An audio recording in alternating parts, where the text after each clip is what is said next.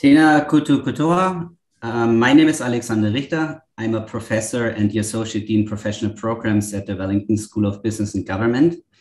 And it's my distinct pleasure to welcome you all to uh, today's seminar. The title is Sanctions, Supply Chains and Shortages, the Economic Impact of the War in Ukraine. And I want to hand over now to um, Professor El Bollard, who is a professor at Tractus um, and the inaugural holder of the chair for Pacific Region Business. Um, he's um, perfect to be as uh, in role as a host today because he has also recently uh, published a paper on the weaponization of money. Um, could this be the first economic world war, which explores the impact of Russia's invasion of Ukraine? So over to you, Alan. Well, thank you, Alex. Kia ora, welcome everybody to this webinar.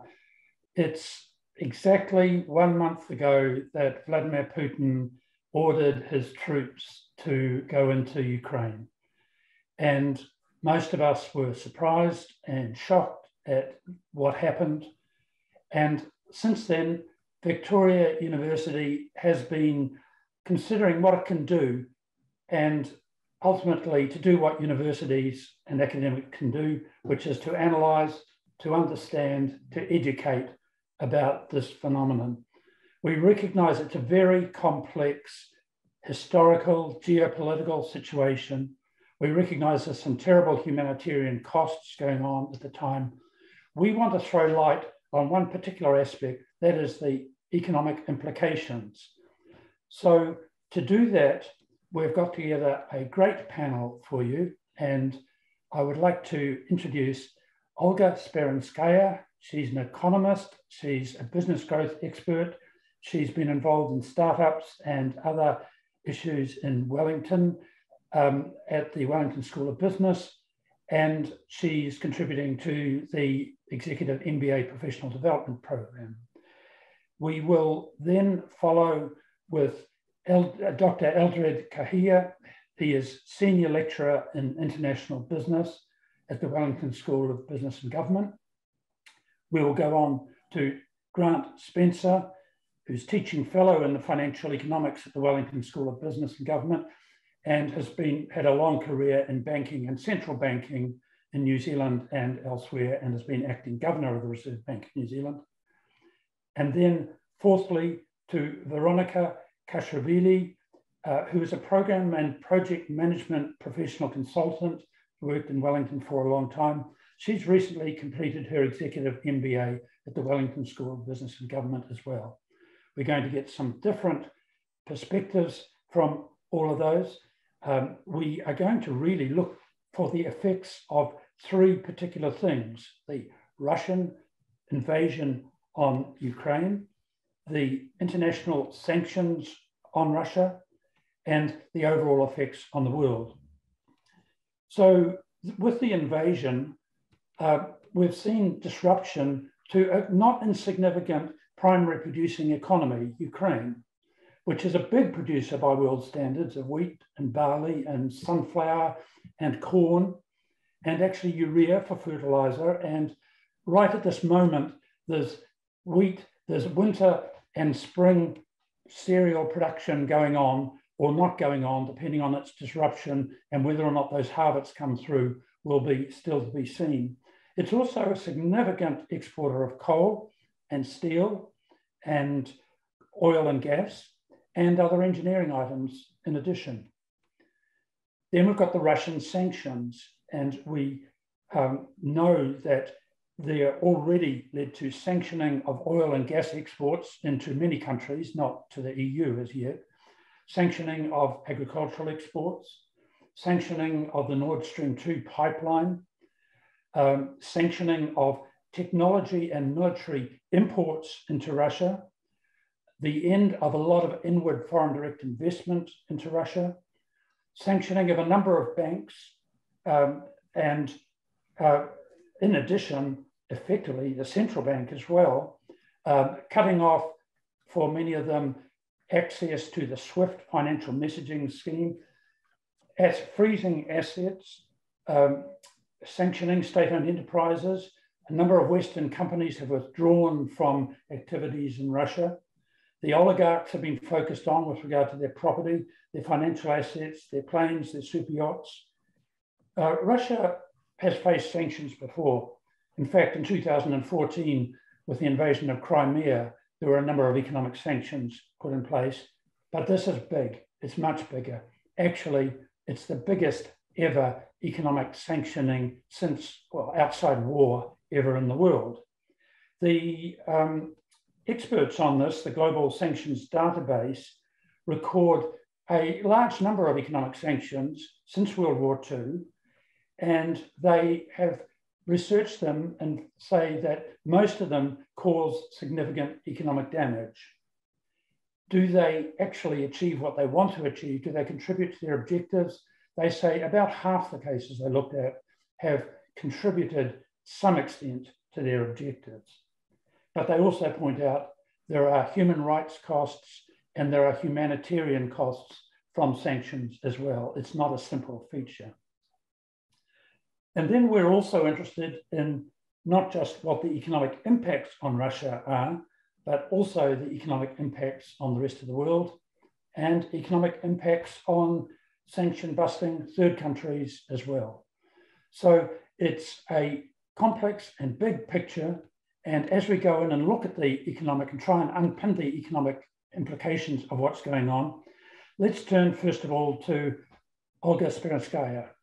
Olga, can we hand over to you, thanks, to give us some context and some background on these economies? Thanks, Alan. Uh, everyone. And uh, I'm obviously a Russian. And the first thing I need to say is I'm sorry. I think a lot of Russians that are um, in the same boat as me, feeling the same way, uh, would say the same thing in a, in a forum like this. Uh, the last four weeks have been very, very difficult, emotional, and you know, feeling the guilt uh, and probably the strongest feeling is being useless. And so I think a forum like this, I've been looking really looking forward to this conversation because you just never know how uh, contributing to an understanding could actually empower somebody somewhere to make a decision that will ultimately bring an end to the invasion and make everything, uh, if not back to what it was before, um, make everything better. I have uh, a few points to make, but I'll start with some context. As Alan said, this is kind of what I do and the, the hat I wear um, when I walk about my um, daily um, daily things in, in New Zealand and in Wellington. Uh, I do have a lot of history, even though I've spent the last nearly 20 years in, in New Zealand. Uh, my connections are still very, very strong, both in Ukraine and Russia. Um, I won't go as far as Ivan the Terrible, which is very tempting because some of the problems economic in the economic system have started there. But I'll go as far as 1992. And a, as a wee story, um, I was at university then in Moscow, and one of the exciting things that I was doing, having a little bit of English, um, I was employed as a translator quite a bit, and uh, I was working at the uh, the first expo, which is, was called USA 1992 um, which brought leaders of major American corporations and leaders of Russian businesses, a, a lot of them still state owned. And there were Ukrainian businesses at the expo. It was really, really exciting. And um, a lot of deals were negotiated, maybe not signed, but this was the start of something that would um, include Russia in uh, the global economy a lot better than it was before. It was the first year after independence for a lot of the um, former Soviet states. Um, there was certainly an air of hope and opportunity around all of that. Things continued on a reasonably um, good, good um, in reasonably good vein uh, throughout the 90s and by the mid 90s incomes have started rising and startups starting uh, appearing everywhere like mushrooms. Uh, we even had 2000 banks registered at one stage. So this was vibrant. Uh, this was entrepreneurial and certainly the system changes were supporting that. Um, it wasn't a perfect system because uh, this was led by a lot of oligarchs and the um, some of the parameters were um, certainly skewed by virtue of having to change the different speed, uh, system in, at speed. Um, but people understood at that stage that these were largely growing pains, and the hope was that would grow out of that and um, end up with a system that was conducive with being a, um, an advanced, technologically and economically advanced country integrated into um, a Western style system. By the end of 90s, however, um, different sort of power structures started uh, playing and 1999, when the intelligence and military uh, came to power led by uh, Vladimir Putin, things started going downhill at an accelerated pace. So that um, important context uh, led to some system features that I want to emphasize today because I think that they're important in understanding the impact of the war itself and, and the sanctions and the reactions um, on, on the world. The first um, system feature is a broken economic system that was supposed to su support entrepreneurship, but actually in reality didn't. Um, examples of that would be um, freedoms and ability to do business transparently. Uh, obviously, deep, deep-seated corruption, and uh, probably the worst example of that uh, was that at some point during the early 2000s, businesses that were successful um, grew large, uh, were largely driven by entrepreneurial people that were starting something interesting, made a bit of money. These businesses started being approached um, by intelligence agencies and the military and started being taken over. So, um, in that environment, you can't really start businesses. And a lot of people that were capable of doing that went overseas. So that's that's um, broken. That broken system is is there now, and it's impacting everything. Second feature is too much global integration. I'm saying too much because too much relative to how Russia wants to position itself and how it wants to um, to be in, in the global economic system. I think if this war was predicted and calculated, maybe economic integration um, into supply chains and um, inviting foreign direct investment wouldn't have been so enthusiastically supported in the early days. Um, but we'll talk about this later. There's some pretty major implications at the moment from, um, from the sanctions that stem from uh, the Russian economy being super integrated into supply chains and dependent in some, in some instances. And the third feature that we all know very, very well is a resource curse we haven't learned from examples of other countries uh, who maybe um, acted a little bit smarter. So we took the money, um, it settled in, in the pockets of the few to the point that we're now seeing, uh, you know, gold-plated toilet rolls on super yachts. Um, this has become a, um, a, a, real curse that uh, limited the development of new technology where the incentives weren't there to invest in perhaps diversifying the sectors, um, limiting the country's development to, uh, to a resource base. Um, and basically everything uh, stems stems a little bit from there. Um, one of the bigger aspects of that lack of investment was uh, the lack of import substitution and creating local products that could that could um, become internationally competitive a small sort of word on Ukraine. I followed Ukraine super, superficially, I guess, over the years.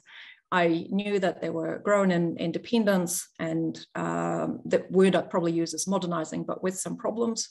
We know that it hadn't been very successful in stemming corruption within the business and the political system, but um, directionally they were going in, in a reasonably sort of Western and successful, successful way. Um, and of course, everything changed on February 24th um, with, with the invasion. I'll talk about impacts on Ukraine first.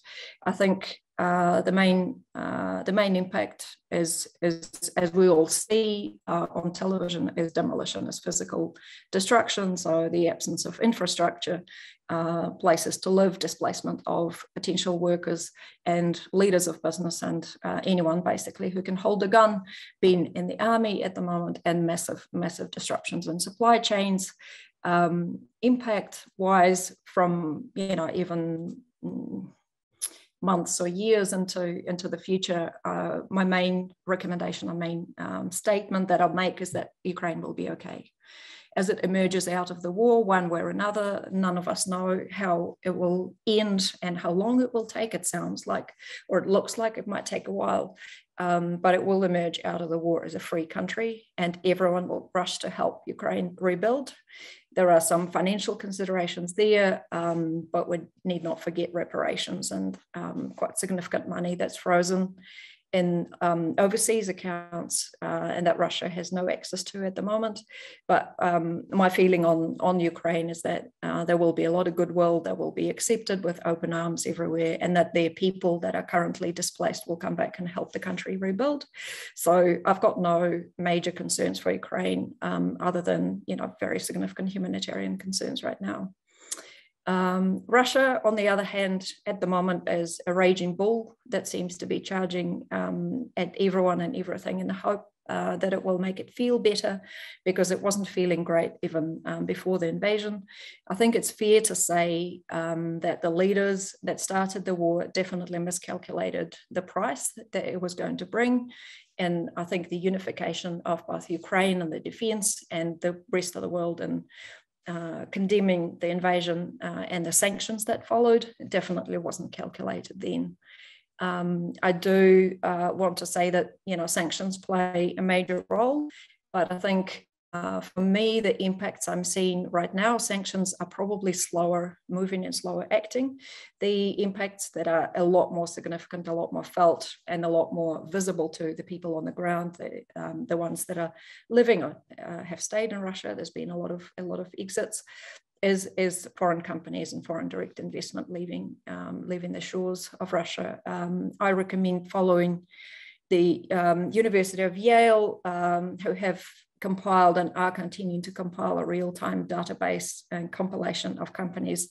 They're in different categories. Some have left outright, some have continued some operations. Um, so case in point is uh, PepsiCo.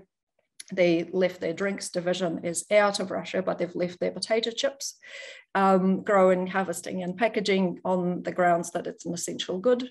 Um, so there are some examples of quite mixed sort of reactions uh, from foreign businesses. And there's a reasonable number of them that actually have stayed. And I've got um, personally question marks over uh, some Japanese and French interests that are leaving and some that are staying. I'm not quite sure how that is going to play out and what impact China and India will have on acting as a compensatory partner for Russia in the goods that cannot be got any other way.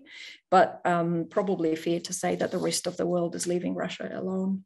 Um, I'll use two words to describe um, impacts on Russia. One is volatility, unprecedented extreme volatility in everything pricing, um, product availability, supply chain. Nobody really knows where to go. Um, and the system, the economic system, uh, common word I'm hearing or phrase I'm hearing is that the economic system does not exist. It might exist in the future, but it's actually self-destructed and isolation.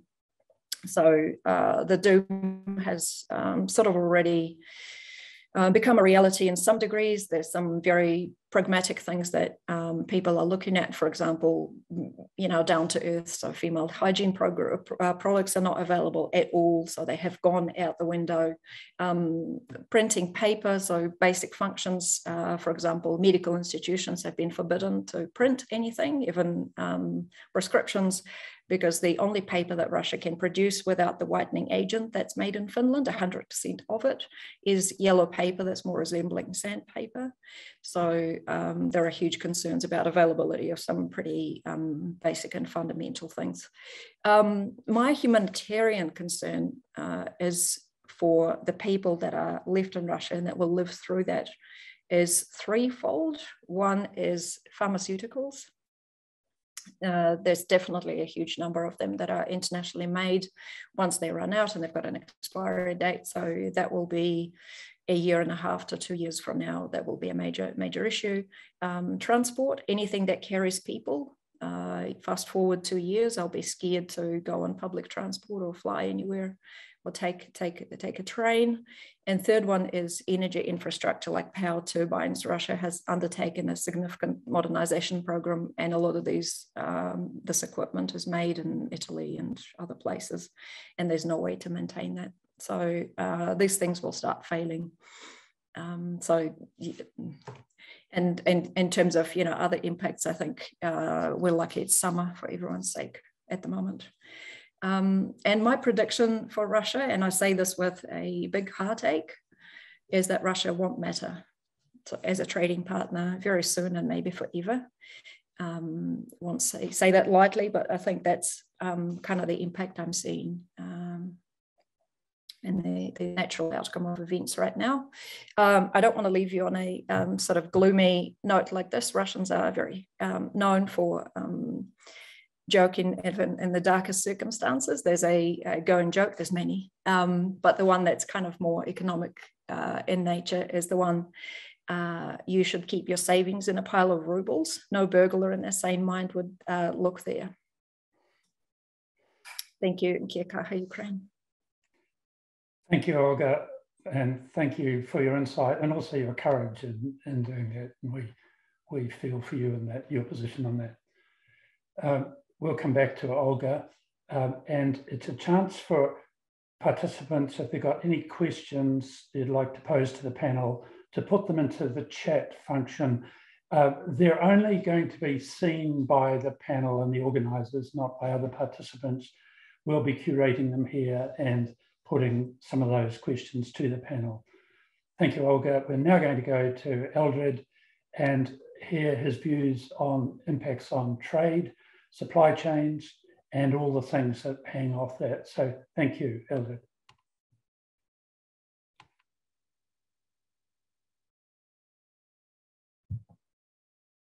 Thank you, Alan. Uh.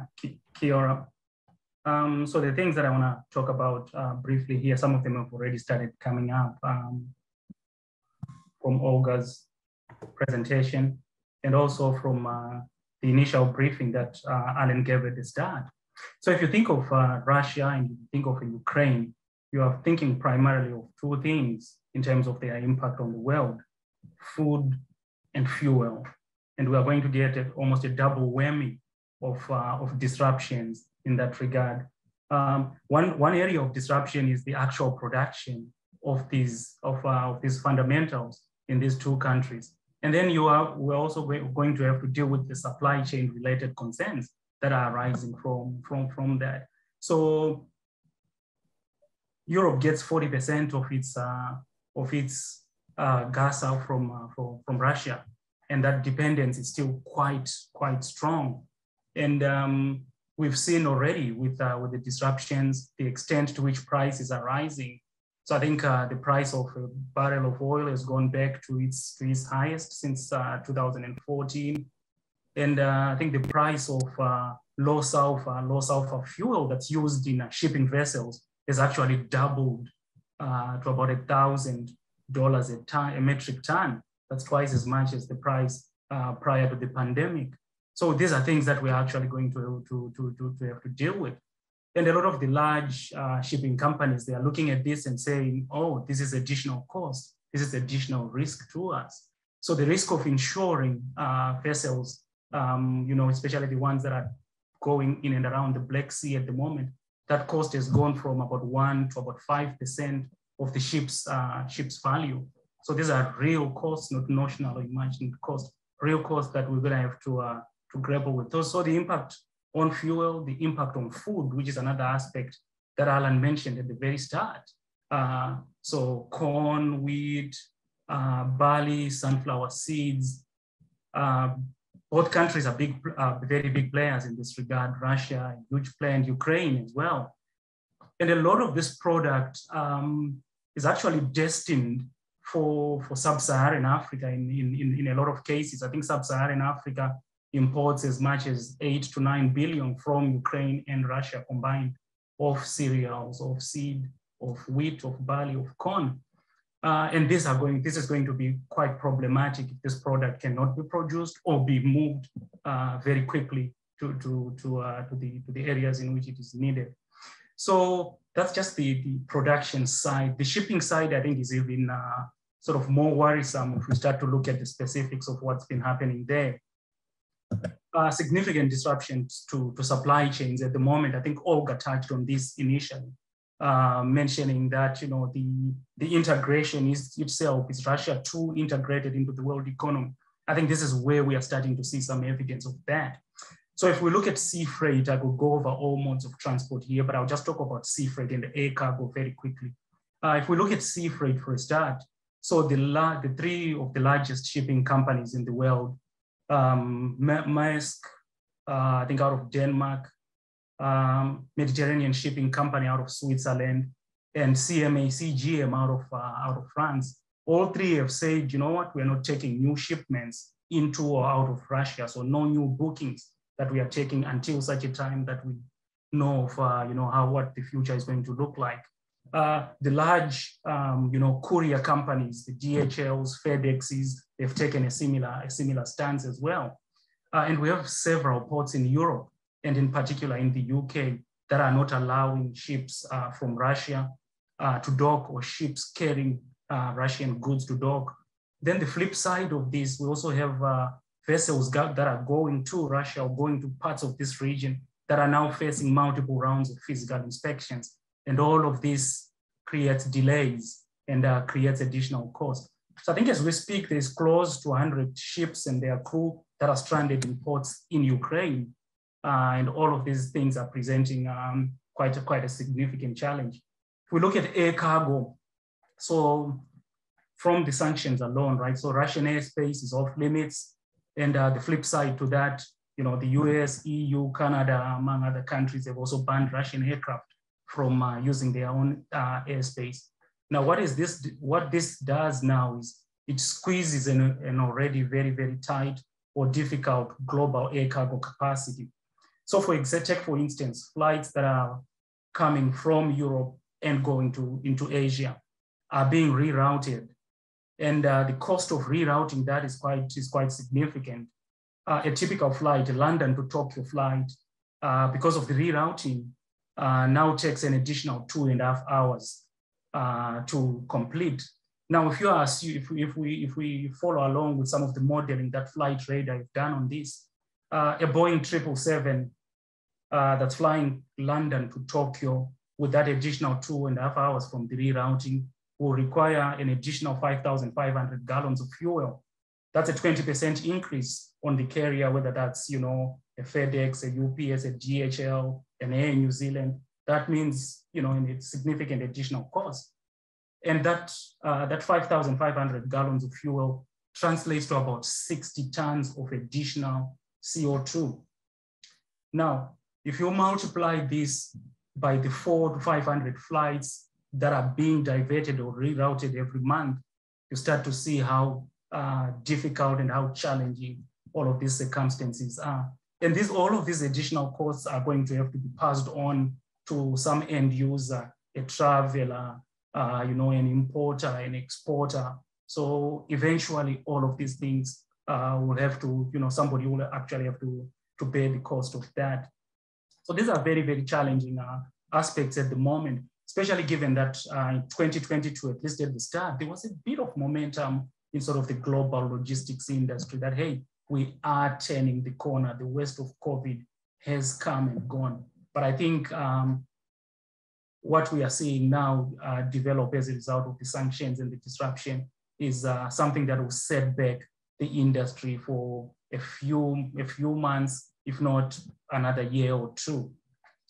Now, impacts to, uh, to New Zealand. I think New Zealand, uh, so far we've been uh, fairly lucky, fairly insulated. And by impact here, I'm just confining some of my sentiments or my points to the impacts on our tradable sector, our importers and our exporters. I think a lot of the impact so far is mostly indirect, right? We'll have to deal with the impact of our energy costs and fuel prices uh, just as a country uh, as the situation develops. But if we are looking specifically at imports and exports, uh, New Zealand is not particularly exposed to Russia uh, in that regard. I think exports to about 270 million a year, imports of about 150 uh, a year. So that is not very, very significant if we draw this down a little bit and maybe go to the sort of situation with Fonterra, you'll also see that um, you know it's been relatively easy for Fonterra to say, okay, initially we are going to stop our exports to Russia. Uh, I think that was mostly butter as well. And then for them to eventually, I think last week to say, oh, actually we are calling off, you know, the international joint venture and we are just going to, you know, um, shelve our Russian operations. I think for Fonterra, that's just 1% of their exports, which they, they will be uh, very, they will be able to reallocate uh, in their other uh, export markets very easily. so I think for now, this is where I'll leave some, some, some of my points. Um, we'll return to, I think, hopefully some of these in, uh, in the Q&A. Well, thank you, Eldrede. That's very interesting and some very practical things that you're talking about in terms of trade disruption. Now, what about finance? What about investment? What about capital flows and all the lifeblood of an economy that's running through those financial markets? Can we turn to Grant Spencer? So, Grant, thank you. Uh, thanks, Alan, and kia ora, everyone. So I'll look at the impact of the sanctions from a markets perspective and a macroeconomic perspective. Um, and in terms of the impact of these sanctions onto the global economy going in that direction, the main transmission we're really talking about here is this huge increase in commodity prices uh, the doubling of oil and gas prices, big increases in, in cereals, and the range of metals. This is effectively an adverse supply shock, uh, which is going to impact the global economy from the point of view of pushing up inflation, uh, pushing up interest rates, and weakening overall economic activity. And so this is how the markets were perceiving it. So stock markets uh, tended to weaken. Uh, there was a move to safe haven assets such as gold and the US dollar. Um, and you know the overall effect um, there's not many estimates as yet but oecd has estimated that world gdp may weaken by about 1% this year, and inflation may increase uh, 2.5% over and above what would otherwise have been the case. Now, in Russia, of course, um, it's a much more dramatic effect, as, as people have been saying. Um, the ruble dropped uh, 40% there was a run on cash uh, from the banks, panic buying of food and imported goods. Uh, the stock market crashed and was tra trading was suspended. And the Central Bank of Russia came in and tried to sort of uh, prop up uh, the, the ruble and moderate the impact on the domestic banking system they increased interest rates, more than doubled them from 8.5% to 20%. Um, they uh, supported the banks with liquidity and put in place uh, uh, foreign exchange controls to try and conserve uh, foreign exchange resources um, in the economy. So the central bank was trying to sort of soften and effectively softening the financial the blow to the financial system um, or in Russia. But there's not much doubt that there will be a, a real significant hit on the Russian economy uh, in terms of um, a recession. And estimates I've seen put that at maybe 10 to 15% uh, weaker GDP this year and potentially inflation up to 25% by the end of the year with persistent shortages and bottlenecks um, that, that we've heard about. So there's no doubt there'll be a significant uh, economic hit. I think there's a, a, big question about you know how long this is going to last. Like Eldrede mentioned, you know, um, dis tra transport disruptions um, from maybe a few months or maybe one to two years. It's, in terms of picking that time horizon, I, I think is quite difficult.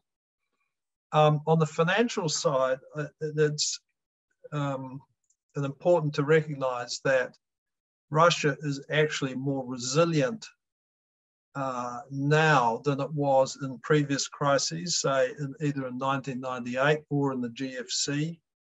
Um, its government accounts have been in a pretty strong position. There's a low level of public debt. It's been running a current account surplus and has a net positive external financial position. So you'd have to say that Russia is actually less reliant on the international funding and financial markets than it has been in previous uh, difficult times. So, um, and, and, and you'd have to say that actually the Russian government finances could even be strengthened given the oil prices doubling. And so, as long as the uh, Europeans continue to buy oil from uh, and gas from Russia, um, you know, it's going to give the uh, Russian authorities the wherewithal financially to um, buffer the, the country from this big shock. Commenting just uh, uh, on a couple of the um, financial sanctions, um, following the clampdown of the, on the big Russian banks and the freezing of foreign exchange assets, um, it was expected in the international markets that the, the, Russians might default on their foreign currency debt, and that debt was downgraded from investment grade to junk. Um, but so far, the um, Russians have actually met their debt service payments. And it does seem that the, the Russia is intent on avoiding default. But you know, even if the West sort of forced put pressure on them to force a default, um, you'd have to say that given the relatively low level of foreign debt, the reliance on the international markets, that may not be, um, you know, a huge impost on the uh, Russian economy if they if they were indeed forced to default. Um, just on the on the payment side of things, the other main uh, sanction we, we saw was, um, as Alan mentioned, the exclusion uh, of eight large Russian banks from the SWIFT um, international uh, messaging system for, for interbank payments. And this clearly will damage um, those uh, banking institutions. But I think you have to question um, whether this, uh, the impact that this will have on Russia's ability to make payments for goods and services and capital transactions going forward. And that's because, firstly, the West have left significant exemptions for energy and debt payments. Secondly, uh, payments will, I think, be increasingly diverted through smaller Russian banks who remain in the SWIFT system and through Chinese and Indian banks, uh, many of whom seem uh, quite keen to pick up that business. So it's very hard to apply real, effectively uh, sustainable um, sanctions through the payment system, given the ability of money to get through the cracks. So um, overall, I would say clearly Russia, the Russian economy is going to take a serious hit this year with the slump in activity, high inflation, and the significant you know, shortages in many areas. However, financially, uh, Russia will remain in a relatively strong position to absorb the shock, provided uh, Europe continues to uh, buy uh, oil and gas uh, from Russia. And furthermore, I would expect the impact of the, san the sanctions will be eroded through time as both trade and payments increasingly get diverted through uh, third markets and in particular through China. Thanks, Alan.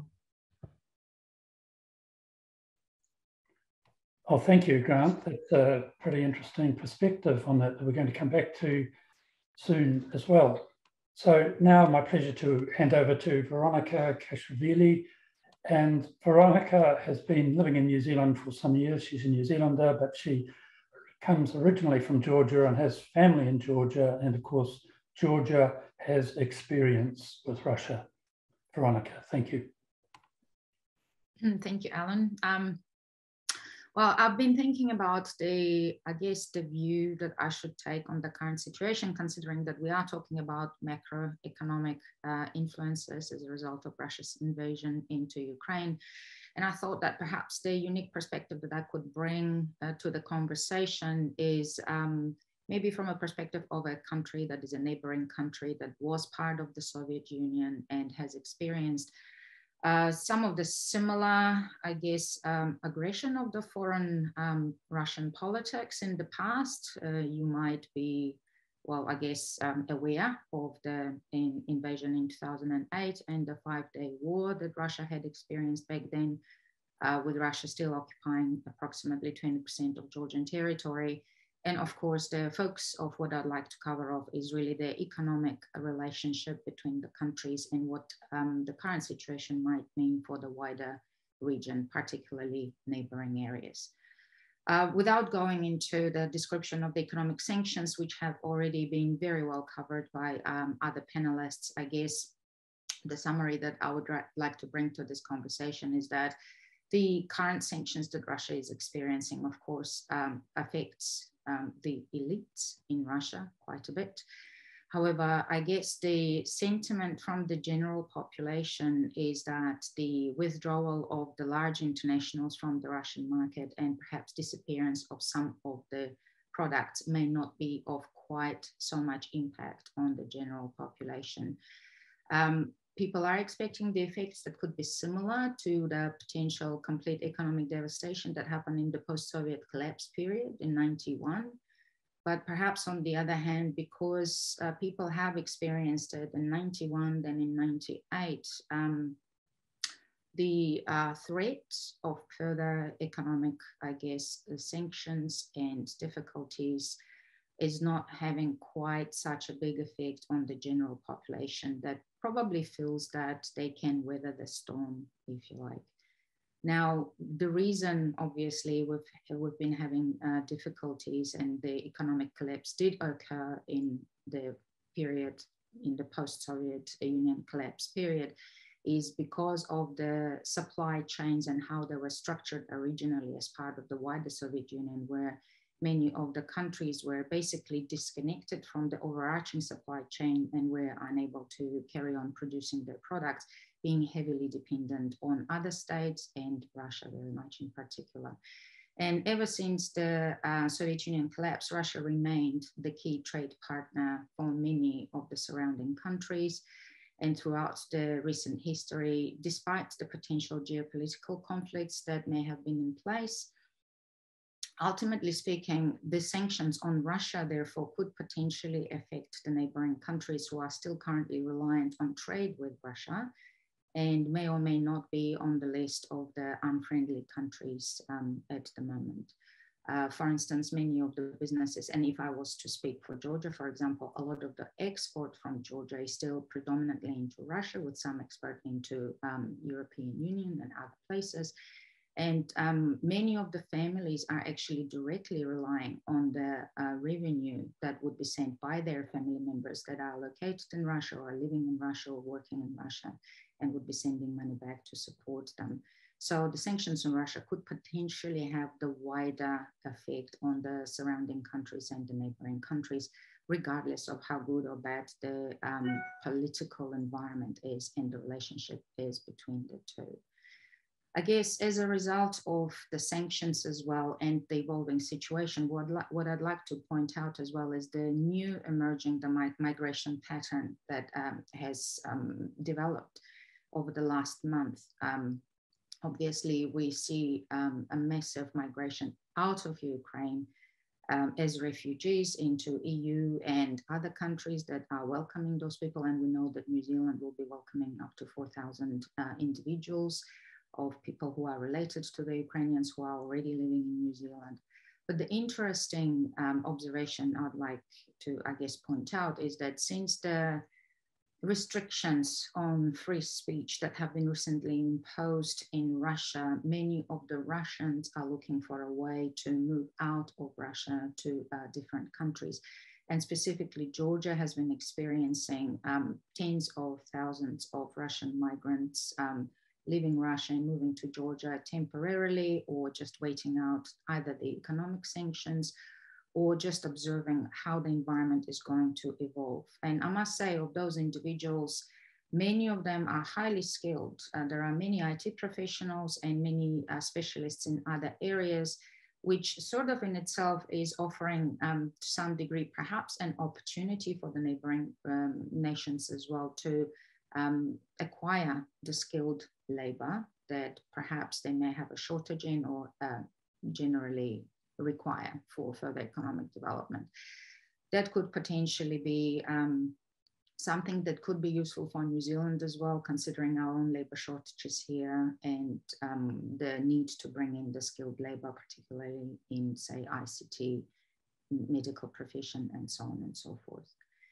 Now, um, going back to the economic dependence and influence over the uh, neighboring countries um, from Russia, obviously that invites political pressure and influence as well, which uh, has been evident in many of the countries of the region. And again, I can specifically refer to Georgia. Uh, learning from this experience, um, I guess the um, next steps for the neighboring countries that are dependent on trade with Russia will be looking for further independence economic independence and independence in trade, perhaps not putting all their eggs in the single basket and uh, varying their uh, trade, um, trade routes and trade agreements with others. Um, this strongly links to the energy supply restrictions to unfriendly countries that uh, we have been experiencing recently and the price inflation stemming from the sanctions imposed on Russia this could become an additional catalyst, I guess, in speeding up the uptake of uh, perhaps sustainable energy generation in the longer term. However, in the immediate future, this could continue contribute, um, contributing towards the price inflation. Um, with regards to the points of uh, heightened importance in independence and energy sources, I would like to actually draw your attention to the existing pipelines um, that are part of the Southern Gas Corridor and as well as the uh, oil pipelines. So you would be aware that there is a uh, Baku Tbilisi oil, oil pipeline that uh, carries oil basically from Azerbaijan all the way to Ceyhan in, um, in uh, Turkey. And parallel to that pipeline, there is a Baku Tbilisi Erzurum gas pipeline, um, which are basically strategic projects um, diversifying energy supplies and offering new opportunities um, to Europe to actually have access to gas and oil from non Russian um, sources, if you like from that perspective, it's um, quite interesting actually. Um, obviously, the Baku Tbilisi um, Erzurum gas pipeline, which is called Trans-Anatolian Trans-Anatolian pipeline, uh, did connect to Trans-Adriatic pipeline as well. So it carries gas through Greece onto Italy. But with the development of Trans-Adriatic pipeline, there was actually a stop put onto a different pipeline that uh, referred to it as Nabucco, Nabucco pipeline, that was originally planned to carry gas from Azerbaijan via Turkey to all the way to um, Austria, actually to the border of Germany. So that project was originally stopped in 2013, but it is possible that considering the current circumstances and the further desire to actually uh, diversify the energy sources in, uh, in Europe, perhaps there is an opportunity to revisit the possibility of that project being reignited um, to uh, diversify the sources. Now, um, the current sanctions and the current um, evolving macroeconomic situation is likely uh, to, in my view, lead to uh, the desire to be more self-reliant uh, in energy production or um, in other areas. Um, we have seen in post-COVID environment that has already been a move away to some extent from um, globalization sentiment. So it is possible that anti-globalization sentiment um, is likely to be even more, more, pronounced going forward as a result of this conflict and um, the impact on our economies. Um, um, we are seeing that there is possibly a move towards more regionalization of alliances, if you like, with proposal of uh, U24. There is uh, an alliance that is between China and Central Asian countries. So there is this tendency towards uh, creating the regional alliances a little bit more.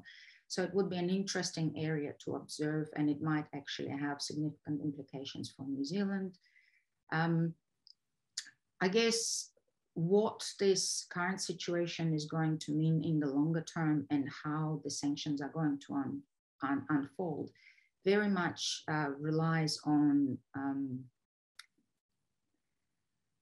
on how this conflict will be addressed. And unfortunately, even though we're trying to stay um, linked to uh, economic analysis, it's very hard to disconnect the economics from geopolitics these days. I guess for us to understand what the further implications will be and how long the sanctions are likely to last, we need to probably understand a bit of a nuance uh, behind the conflict and um, whether there is actually uh, a purely economic motivation behind the conflict or perhaps other motivations. Um, something that is often, I guess, um, undervalued, uh, particularly by those that are are not linked to that region is that most of the countries of the former Soviet Union are not homogeneous with regards to the ethnic composition. Uh, yes, mo most countries will have an identifiable ethnic majority, but in reality, they are very, very multicultural. And the conflicts amongst ethnicities um, are not so much amongst ethnicities, the, the political conflicts and geopolitical conflicts are often actually disconnected from the culture and from ethnic composition. So um, when we are looking at the uh, current situation between in Russia invading Ukraine, um, the ethnic understanding and the ethnic appreciation of each of the nations goes way back before Soviet Union. We are talking hundreds of years back. So I guess a resolution of a conflict like that uh, can often be prolonged and whether there is going to be a long-term peaceful resolution as a result also depends on how um, the nations will be able to address this complexity. Um, there is a possibility that we currently have a bit of a misalignment between the economically motivated West, because a lot of the time um, the actions of the Western countries are driven by macroeconomic motivations. And potentially at the moment less rational and what appears to be even um, deontological motivation uh, within Russia and perhaps even Ukraine right now. Um, as I said, the um, conflict is not purely about economics. There is a lot more that sits behind that conflict that could stand in the way of quick resolution. And it could be that de deontological motivation that could stand in the way of the current economic measures and sanctions actually playing a strong enough role to be an effective deterrent for a long-term return to peace. Um, I guess um, last thing that I would like to um, put to you and think about is whether um, considering the current circumstances, uh, it is still possible to continue viewing global and local economic development independently from geopolitics and whether this sort of thinking um, uh, can start inching towards perhaps a reductionist view of the situation. Um, and it, it's just a question that I guess I will uh, leave you with to think about. Thank you. Well, thank you very much, Veronika. And that question is clearly there in everybody's minds, and it's actually the underpinning question that comes come through all the chat questions so far. They're about geopolitics. And we can't separate them out from the economic things that we're talking about. But uh, so far, we've heard um, Eldrede saying there's some big trade blockage, shortage, difficulties ahead. But Grant actually saying there's some financial resilience that's there as well that may not actually hurt Russia so much. Um, Olga's given us a whole lot of background on this, and Veronika, you've been talking about regional alliances. One of the questions that has come through is takes that question of regional alliances and says, well, if you look at it in a bigger world, are we heading into a new Cold War? Is there a risk that there could be a new set of alliances between West on one hand and Russia, China on the other hand, and the others either sitting on the fence or joining the camps in a sort of economic Cold War in the future? Uh, we've heard a bit about the prospects that China could have from either going around some of these sanctions or putting pressure on Russia or taking advantage of both sides on this. Any thoughts from our panel about the risk of a serious big schism that's got economic implications between the West and Russia, China, plus plus?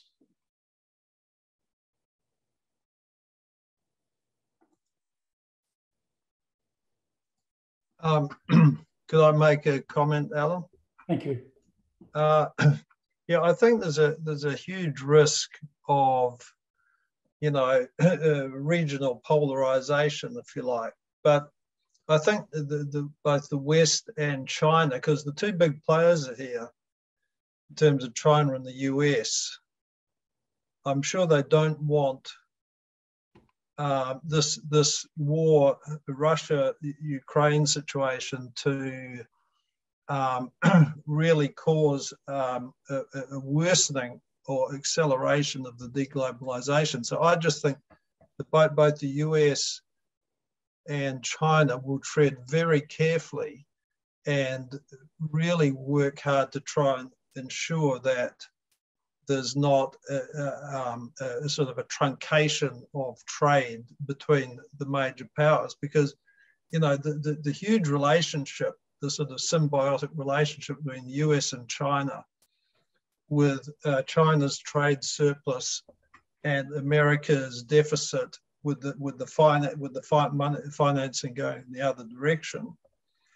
uh, with um, you know, is sort of fundamental to where the, the global economy is at present. So my feeling is that the that they'll try and maintain uh, the the international trade, that that uh, that huge trade link that currently exists between China and the West, but that a lot of the sanctions, if, if Chinese companies are seen or caught to be you know, supporting Russia or breaching the sanctions with Russia, then they will be punished. But there'll be a lot of smoke and mirrors used, and a lot of the frontline Western-oriented Chinese companies won't get involved in those that uh, sanction busting. But there'll be all sorts of new companies and regional domestic companies in China that do in fact get involved in that uh, sanction busting. So I think there's going to be a bit of you know, a lot of positioning and things going on behind the scenes that will effectively erode uh, the sanctions behind the scenes. But of course, there's going to be some interesting commercial possibilities for China if they're prepared to sign up for cheap contracts for oil and gas, um, for cheap cereals production, um, if they're prepared to uh, fill some of the gaps that are going to be there for Russian imports, and if they're prepared to um, put money into the Russian economy and fill some of the gaps of the exiting Western uh, companies around as well. Olga, um, you've worked in a number of these places and you've been at one stage of your career promoting New Zealand trade into some of these areas.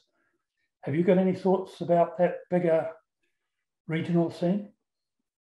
Uh, yes, I do. It's pretty much uh, along the lines of what Grant has has just uh, voiced. I think there's definitely there's two uh, two major players. China's obviously bigger, but India's making some pretty significant moves as well to take some spaces, and uh, they will be invited and they will benefit from um, from from the shortages in Russia, and it will step into that space but I feel like um, in in doing so, there will be a lot of care and caution applied to not upset some of the balances that exist with the other nations. And going back to the question of, you know, will there be a, a massive Cold War and will there be alliances that will be headbutting for um, months and years to come? I think uh, no, there won't be. And it's one of those invasions and wars where there is one clear culprit. And I think um, the sentiment that I'm picking up is that you know Russia is is sort of an outcast, and other countries will be very careful touching that um, and being known for alliances. But that goes, you know, under uh, what happens under the surface of the water is obviously much more nuanced. There will be deals done, and there will be, you know, humanitarian type. I think we won't get into hunger situation um, in Russia. I don't think that will ever be the case. Um, but there will certainly be opportunities um, of a, a, major type, for example, all of um, you know foreign cars disappearing off the streets uh, of Russia. China makes some of those. So of course they will be invited to participate, and if they can do that safely for themselves in a political or sort of macroeconomic sense, I think they will. Um, but that doesn't mean that they will go into an alliance and there will be sort of a Cold War with major economic implications. I think there's grief enough out there, and all the major players are seeing volatility and they don't want to exacerbate that. That's kind of where I see this. Hmm, thanks. So, Eldrede, um, you, you, we're talking about supply chain disruption and trade disruption at a time when actually there's a heap of disruption still going on as a result of COVID, as a result of Trump trade wars, etc., etc. Uh, and you've got some interesting background yourself, originally from Zimbabwe. Zimbabwe has been under sanctions for since roughly year 2000. Um, any thoughts from what you've heard on the others on uh, whether or not the question of supply chain disruption, blockages, decoupling could actually spread into an east-west or Russia-China versus Western economies sort of picture? I think, uh, th th thank you. Yeah, I do have, um, it is a, a, background with that exposure to, um, you know, to, to a Zimbabwean economy that was undergoing sanctions. So I'm not sure if my experience speaks directly to, you know, the decoupling but it speaks to other elements around you know what sanctions do broadly to, to economies. So I think what, what, what I managed to, to sort of see, experience firsthand, in some cases vicariously with the situation in Zimbabwe, especially at the onset, you know, sort of 2000 to 2004, the two or three things that jumped up to me at that time was the fact that it's generally very difficult to target sanction, sanctions you can say we've identified these individuals, we've identified these industries, we've identified these organizations, but the actual targeting of sanctions uh, for purposes of making a real impact is actually a lot more difficult than it looks um, in, in principle. And I think it takes us to a few points that both Olga and, uh, Grant have, have, have, touched on. Um, I think uh, Grant had a very interesting, um, um you know, um, quip on that, that, you know, money will always find its way through, through, through the cracks. Uh, the politically connected, uh, the elites will almost always find their way around systems and be able to circumvent that. So that's one side, the targeting of sanctions uh, and their intended impact on uh, certain individuals or organizations. There's another dimension to it, which is the impact of sanctions. So the impact is supposed to go squarely to those that are targeted, but in most cases it doesn't um, every now and then we see that the impact can actually spread more broadly in the general population, can actually affect, you know, the ordinary man or woman uh, on the street. And then there's a, there are downstream effects of that. So, so right, if I, if I, if I wrap this around these two points together around nicely, first, the, this notion that elites can circumvent sanctions through very, you know, intricate and unscrupulous deals and uh, sort of mechanisms behind the scenes, and the fact that the common man or woman on the streets, on the street gets impacted. If you look at those two together, you start to see how um, um, parallel markets, black markets, and all kinds of uh, informal marketing activity uh, starts to mushroom. So if I go back to Zimbabwe, and I don't think Russia will necessarily end up in that situation, but if you go back to the Zimbabwe of 2004, um, uh, the economy was probably 75, 80% formal activity versus, you know, 25, 30% informal. It's flipped the other way around now. And I think that's predominantly due to sanctions and their sort of wide ranging uh, effect and the fact that it's very, very difficult to have them, them targeted specifically. And Veronika, um, keeping with that question, uh, you talked about regional economic matters. And of course, um, again, it's complicated because the Soviet Union, well, the Russian Empire under the Tsars was huge. The Soviet Union was big. Um, it was ruled for many years by a Georgian. And um, now, since 89, a lot of that's broken down, but we're not sure how much it's broken down. And clearly, in Putin's mind, the Ukrainian connection is broken down too much and needs to revert. Uh, I understand that in Russia, Russia has actually more migrants from the from outside Russia than almost any other country. So there's a lot of workers there from the region, and uh, we're interested what sort of regional effects there could be from these Russian sanctions?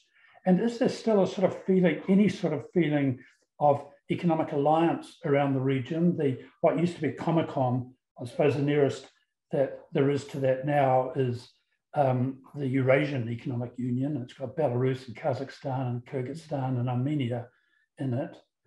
Uh, do you see any comparison to the EU there? do you think that's significant in the way Putin's thinking about the region, or is it purely a security and political sort of issue for him? Thank you for this uh, fantastic question. Um, just like any other matters, this is a very complicated aspect because again, we have economic alliances and I think still quite a very a serious dependence on trading with Russia, Russia being, you know, the neighbor and there being a lot of history with Russia over centuries. We're talking about not just during the Soviet Union, but also previously, which does not necessarily align with agreement with the political structures and the political policies. And that's where I guess the dichotomy exists that from the economic perspective, it makes sense that the countries continue trading with each other. But when the Russian external politics starts to, I guess, affect the sovereignty of the neighboring nations, that's where the conflict starts rearing its head. So yes, there are countries of the former Soviet Union that are still very much in alignment with um, uh, Russia's political system, if you like, and the way they see their future evolving. I mean, Belarus is a very good example.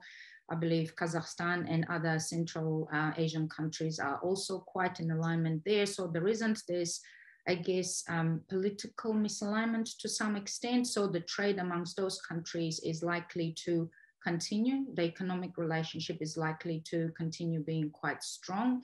It is much harder for smaller nations like Georgia. It's only three and a half million people, tiny little territory, geopolitically extremely important, but obviously you cannot possibly compare the strength in any way of what Georgia could achieve alone and the neighboring countries and particularly um, Russia being north of Georgia.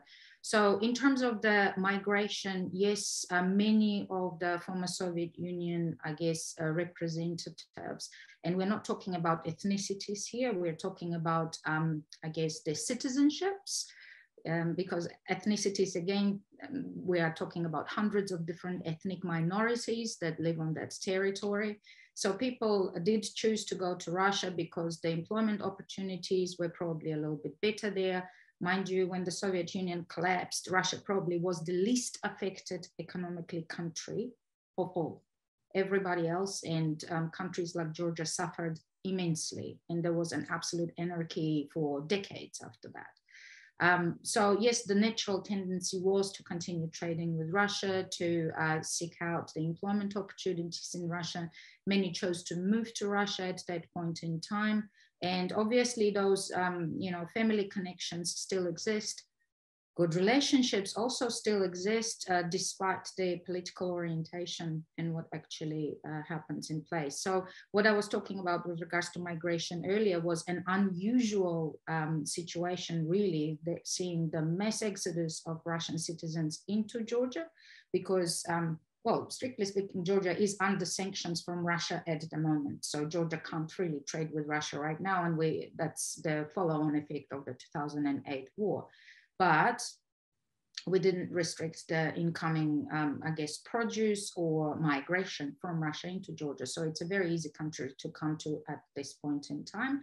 And I can imagine that um, countries where um, people enjoy similar freedoms, you know, Georgia is a sovereign nation, freedom of speech exists there. So that can be an attractive, um, at this point in time, proposition for, uh, say, Russian citizens who feel that they may be constricted in some way or are potentially, um, well, you know, just looking for an opportunity to uh, wait out the storm, if you like. Um, in terms of the uh, longer term alliances, well, um, in the post-Soviet uh, Union environment, there was a desire to create a, what was called SNG, alliance, and it was an alliance of uh, former Soviet Union nations. It was predominantly a trade union and alliance. Um, many of the countries opted out of it purely because, again, the economic alliance cannot be completely separated from the political pressure because two are so closely linked together. Um, so that would probably play a role in what types of alliances will remain or will continue forming around Russia. So I think that alignment with the um, political structure will still play a role in whether the alliances will be formed or not. And I can imagine that uh, the countries that uh, have struggled to maintain their sovereignty will probably be very cautious about which alliances they will choose to enter into from the economic benefit perspective. Hmm, thank you. Well, well, continuing with that theme, um, Olga, um, of course, the Georgian leader you know about was Joseph Stalin, and he was succeeded in the Soviet Union by somebody born in the Ukraine, Nikita Khrushchev. Um, that just shows us how complicated but integrated that region really was there. And we all know that the Soviet Union won World War II and it did it through a lot of domestic production and an ability to make stuff that it needed to make, to not worry too much about consumer needs, but to do a huge effort in industrial production pickup. Is that, now you said one of the problems that Russia today has is that it's too economically integrated. Uh, is there not still a both a memory of the Soviet resilience, but also an ability in industrial production to go back and make stuff again that can't be imported, i.e., to be resilient against the blockages and sanctions that are likely to be mounting up?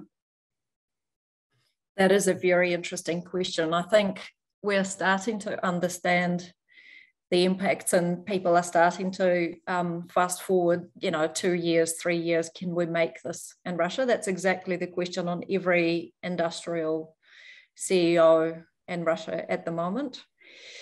I think the answer is probably yes, the resilience is there, slightly different circumstances. And you know, the what you can make under a huge patriotic drive is probably not there when you're not defending your country, when you are the aggressor. Um, uh, so I, am not talking about you know, sabotage or anything like that, but I think you know if you look at Germany in a war situation and a lot of ind- industries within Germany, there was sabotage there. So I think, you know, there, there might be an element of reluctance to participate in something like this.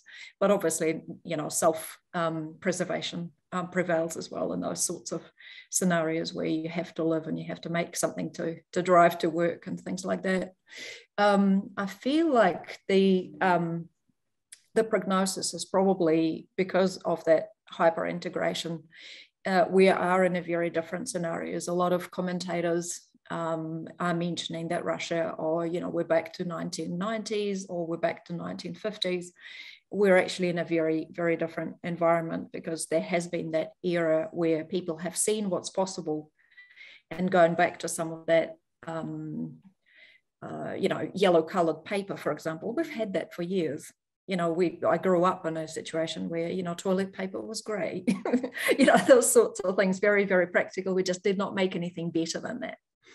Um, so, you know, we, there's memories of this and you can make a version of it. But I think the at the moment, it's it's kind of not geopolitical and it's not economic. It's actually psychological probably which is very similar to what happened to russian soldiers at the end of um, second world war. Those that have seen on the way they've been told stories about how you know soviet union was superior and how we lived and they knew how people lived and we had a few famines and go and um, a few uh, a few years and um, before the um, Second World War, and when they travelled to Western Europe and went through there, and even though it was all destroyed, they saw the difference that your living standards and how um, they could live a different life. And those people, when they went back to Russia, they were sent to concentration camps because they were too much of a threat psychologically to the others to say, well, there has to be a better way and there has to be a different system.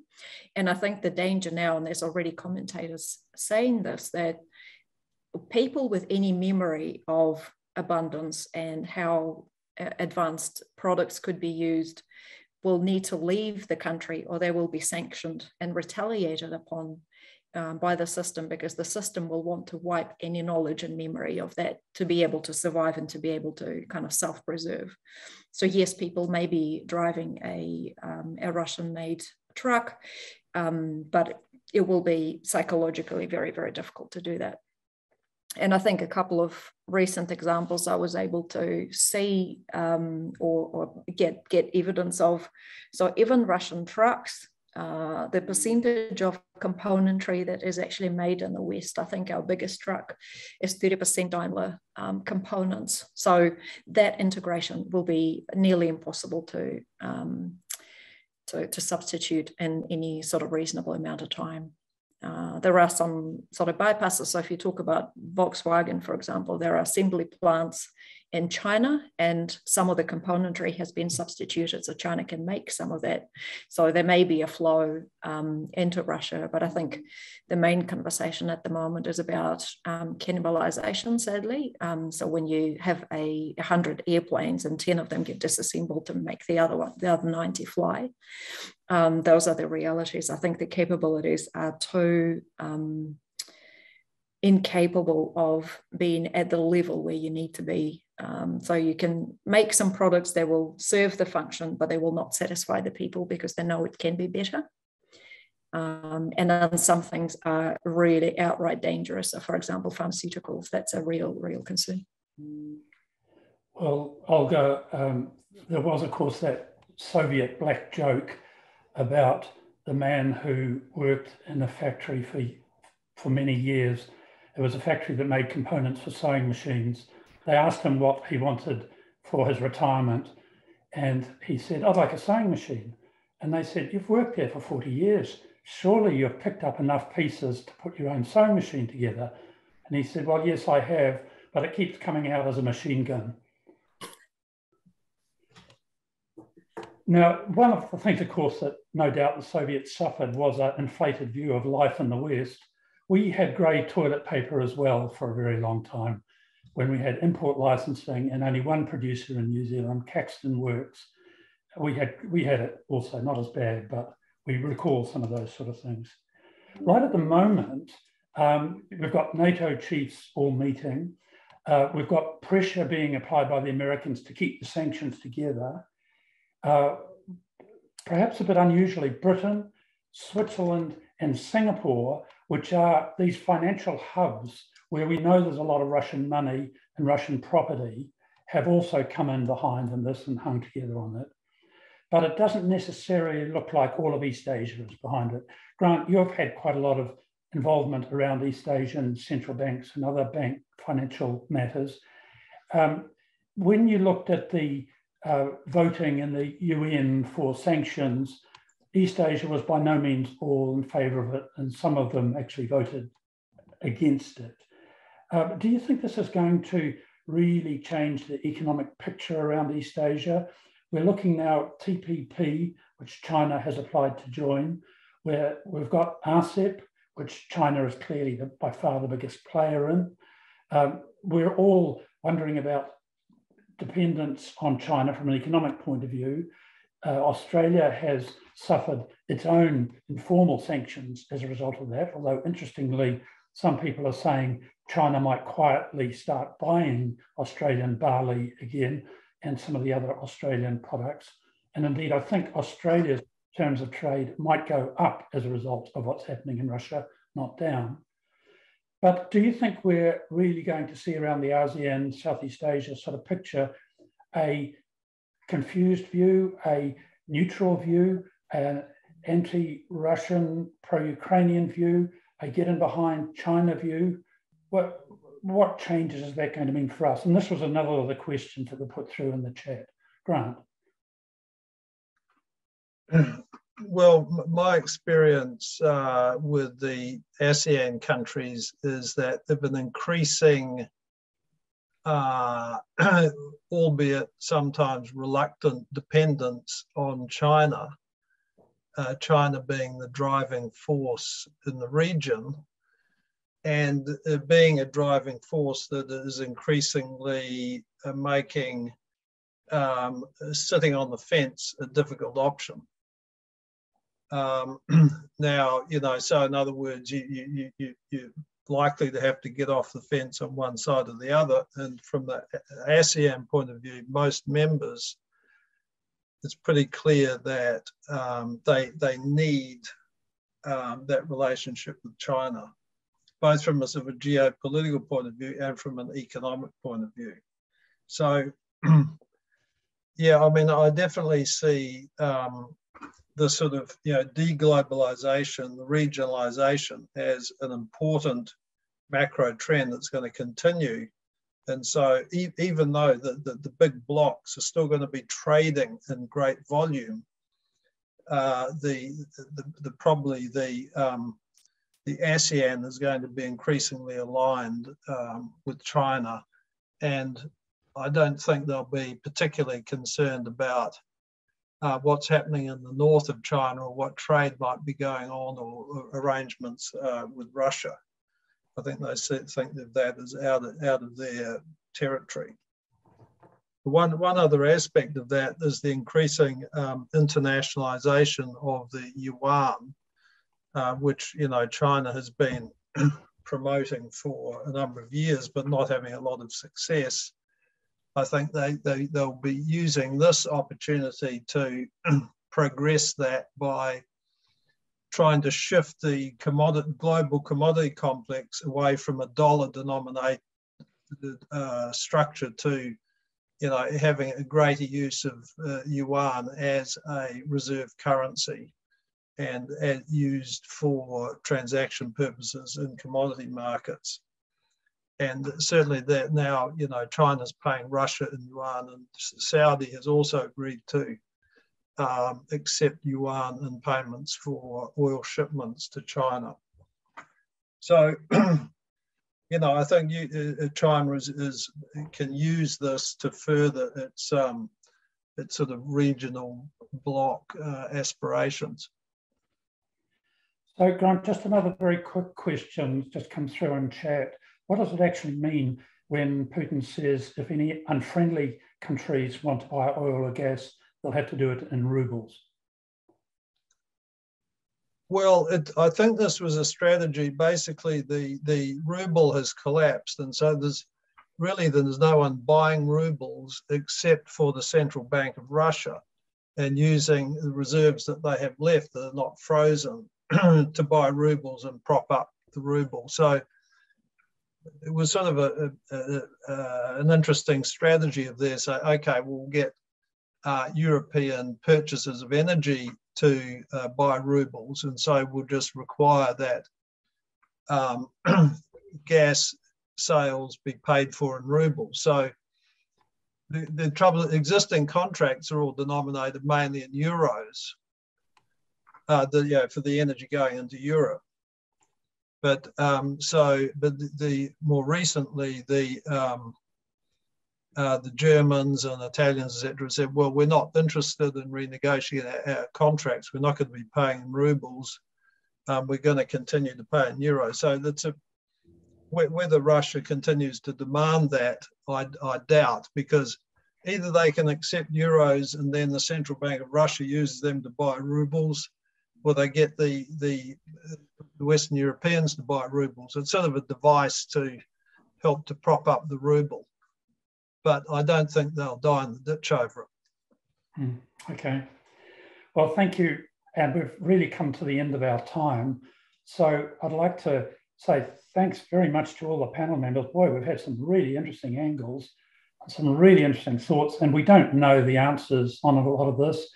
And so much of it is going to depend on how long this conflict goes on for and whether or not there's a negotiated settlement, a military outcome, or a pullback. And we know that uh, that that sanctions, these sanctions could have significant effects, but they also could be negotiated away in a negotiated settlement as well. Those things are possible.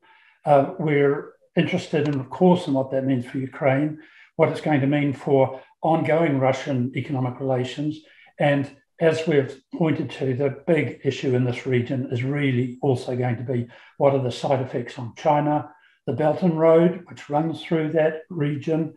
And of course, the New Zealand government will be saying, thank God we did APEC last year and we're not doing it this year because organizations like APEC are going to have a hell of a job working out can they even all sit around the table with Russian delegates at the moment anyway. There's a huge number of questions in all of this. I've learned a lot through this time. I hope you have as well. We would like very much to thank Alex Richter, Charlotte Deans, Carla Davidson, and the Professional Programs Office of Victoria University School of Business and Government. So with that, we'll leave you all and we will be very interested to hear and learn as this goes forward. And let's hope we get a resolution in the Ukraine. Thanks very much, everybody.